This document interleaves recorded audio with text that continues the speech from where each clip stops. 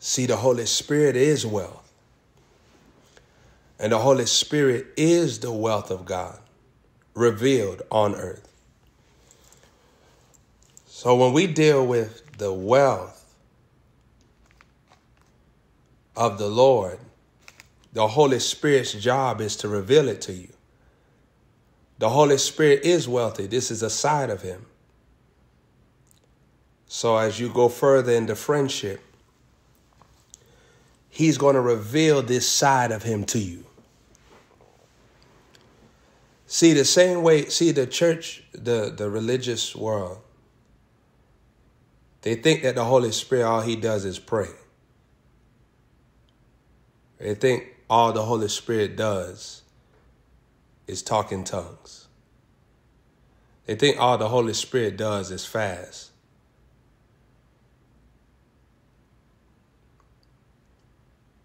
Those are just dimensions of him. But the Holy Spirit don't fill you just for you to talk in tongues. The Holy Spirit fill you for you to fulfill kingdom assignments on earth. Because there's some things that the Lord wants to do and he's going to use your body to do it. He's going to use the finances that he placed in your hands to accomplish it. So the Holy Spirit don't just fill you to pray in tongues.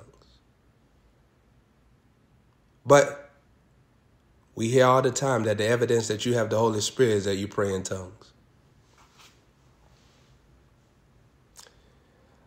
The Holy Spirit is the most wealthiest spirit on earth.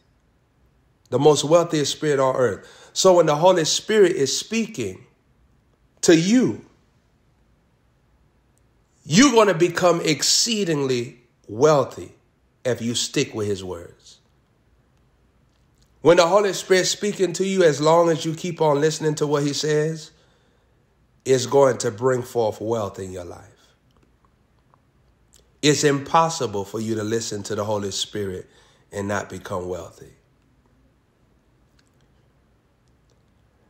The Holy Spirit of the Lord has a part of him called wealth that he reveals to you piece by piece, season by season, time by time. And the more you say yes to him, the more that wealth power start unraveling stronger and stronger and stronger. What happens when you go further in the wealth power of God? You start seeing visibility. You start seeing favor. Meaning that there's angels that's working in the invisible realm, they're talking to people on your behalf. See, the more the wealth power of God is moving, you're going to see how the Spirit is touching people's hearts for you. Wealth favor make people start becoming kind to you. And see, a lot of children of God don't understand that an opportunity is a harvest.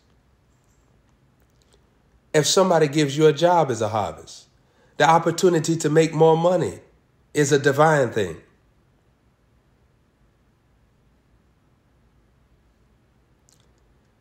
Saints, the world, they are faster. The children of this world, they're faster in their obtaining of money than, than, than saints, which was never supposed to be. An ungodly woman and a godly man, they they they steal laws from the kingdom of heaven and use them, and they they work witchcraft and walk in satanic robbery of wealth, and that wealth be belonging to the saints. Saints, I, I, I'm, I'm looking at so much stuff as I'm getting older and wisdom, right?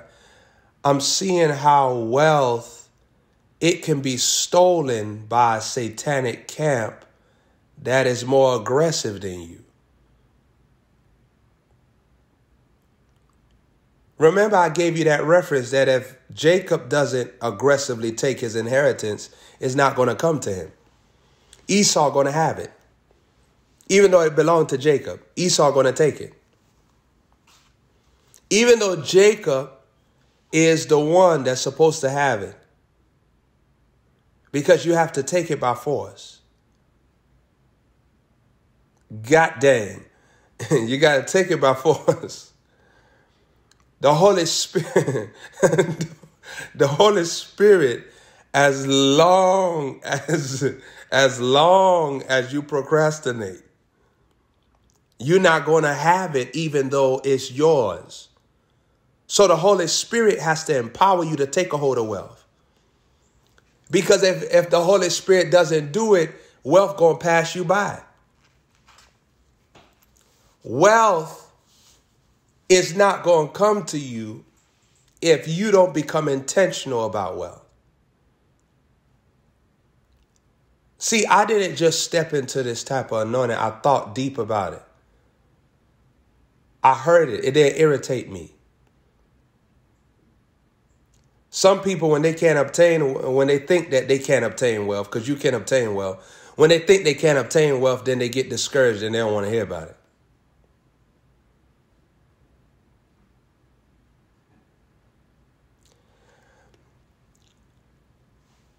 Things that are challenges in the spirit, the reason why they are challenges is because you're going to have to humble yourself and die to yourself through listening to instructions for it to manifest.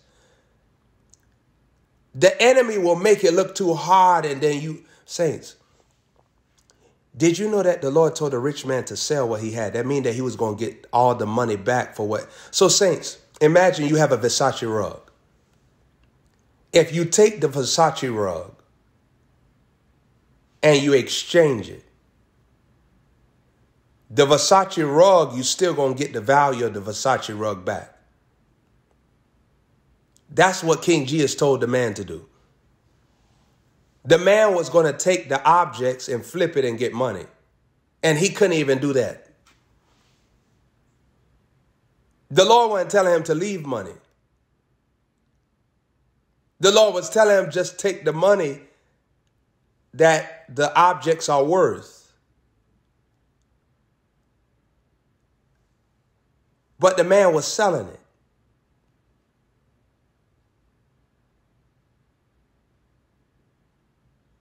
He was still going to get money back. That's what selling means. See, the Lord never going to let you be empty handed because he always going to put a seed in your hand for you to change your life. See, the Lord always going to put something in your hands. It's going to start small, but it's going to grow in the area of wisdom, as wisdom is growing in you, that sowing gonna grow. Sowing don't stay at the same level. If it does, something is wrong. When I started sowing, my sowing went up. I remember being a teenager when I started off at like thirty seven dollars. Then I started sowing hundreds. Then I started sowing five hundreds. Then I started sowing the three hundreds, the seven hundreds. Then I started sowing the thousands.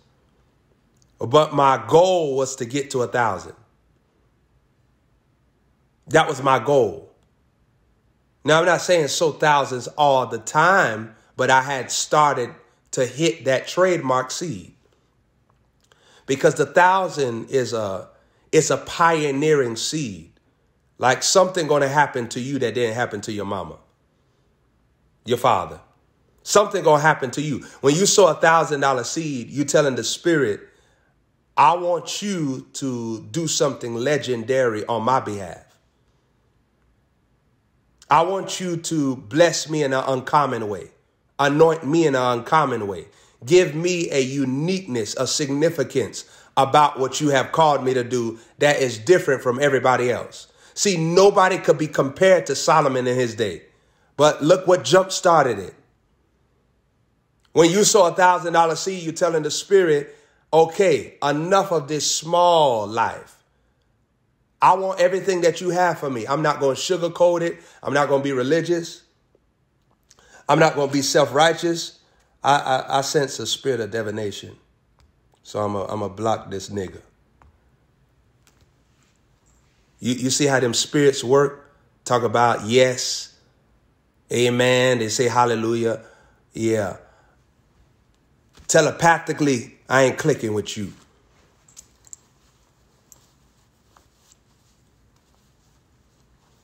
I hope some of y'all learned this in your personal life. When people up there sneak into your life acting like they up there on the same accord and they just using the same type of verbiage to look like they on one accord and it's a demon mocking you. Talk about the spirit of divination. That was a spirit of divination right there. Talking about, yes, Lord. Amen. And the demon inside that body up there typing, trying to. The Holy Spirit wants to reveal his wealthy side to you so that you can have all sufficiency in all things. And you have to become serious about this. You hang around too much religious people, they always want to talk about prayer and, and, and all of that different type of stuff. And, and then you got the same lid on them, lid on you that they have on them. They never accomplish financially.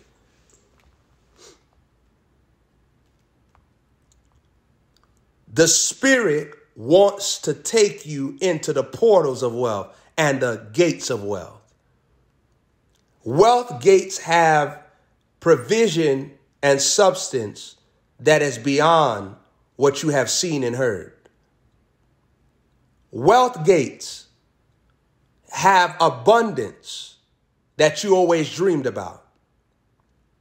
Wealth gates is a supply system that is superior to this earth's government, this world's government. Wealth gates. Spirit wealth is overflowing money that's not going to take you to hell because God has authorized you to steward it and enjoy it.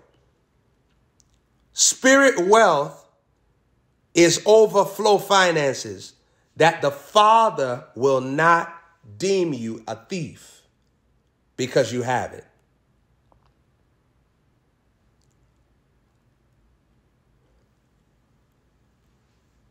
When it's spirit wealth, that means that the spirit controls it when it gets to you.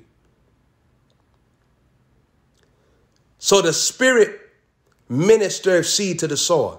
Look what Second Corinthians chapter 9 says. He ministered seed to the sower. Do you know what that means? God putting money in your hands to sow is actually God's ministry.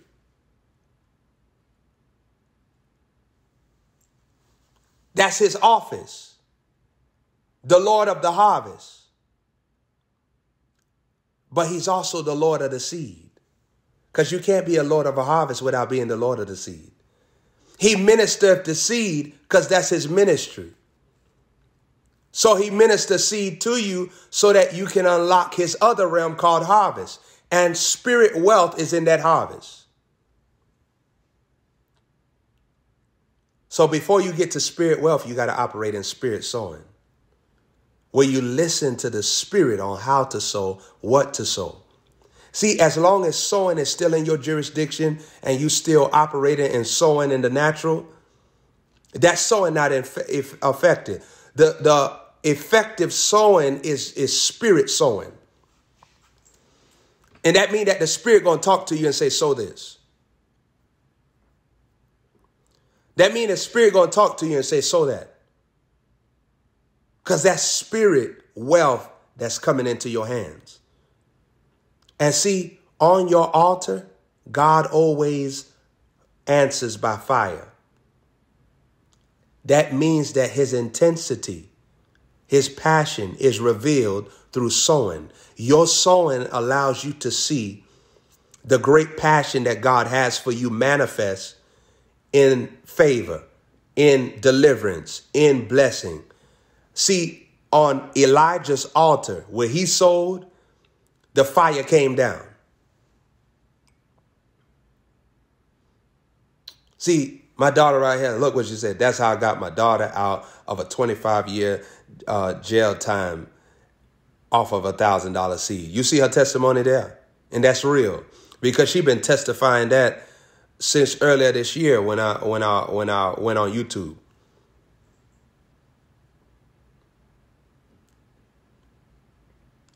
See, the wind of the spirit blew in the direction of her daughter because she sold that thousand dollar seed. And she's still sowing. I, I think that her, her latest seed was $777. I see it. I see it. I see it. She's still sowing. That was last year according to natural. She's still sowing. See, as long as you stay in the sowing position, your life just gonna keep on getting better and better and better and better and better. And saints, the seed answers prayers. Whoa, whoa, whoa, whoa. The seed answers prayers. So when you sowing, you petitioning God with the seed. The sower don't have to keep on laboring in prayer and begging God to do something because the seed answers prayers. The seed petitions God. You asking him a question when you sow. That's why God asked Solomon, What shall I give you? But Solomon was in that thousand flow. See, you may not be conscious of it, but when you sow in a certain way, God start asking you, What shall I give you? When you are a crazy sower, if you get around religious people, they'll mess you up real bad. You know why? Because certain stuff that God is going to reward you with, religious people going to tell you, no, that's not biblical. And I'm not talking about he going to reward you with no 40 ounce. You going to get drunk. I'm not talking. I'm, I'm not talking about that. I'm not talking about that. But when you're a sower, the Holy Spirit to allow you to taste and see that the Lord is good. Uh, paradise power start moving in your direction. And you start living in eternity right now, all through the seed. The seed lets you live in heaven while you're still on earth and you're still in your physical body. Spirit wealth will take your life into all the glories of money cometh. Financial favor. And he daily loads you with benefits. See, as you're operating in that anointing of honor, the daily load of benefits start becoming a reality. It's no longer scripture, but now it's a picture. You can see it.